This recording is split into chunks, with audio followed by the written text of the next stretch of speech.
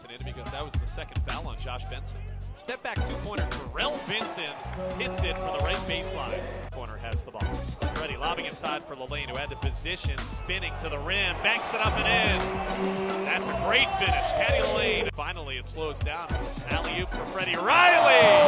And a dunk from the right baseline from Chaz. Threw that ball in the air about 30 feet.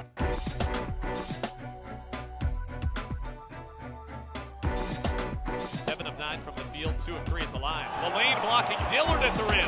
Rebound Esho up to Chaz Williams. Williams alley-oop. Esho trailing the play. Esho gets the dunk. The Angry Birds. And a timeout Dayton. Wow. What a pass.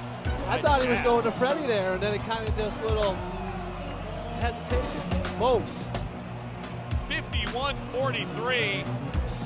Block party for UMass leading to runouts. Putney did it earlier. That time Cady Lalanne blocked the shot.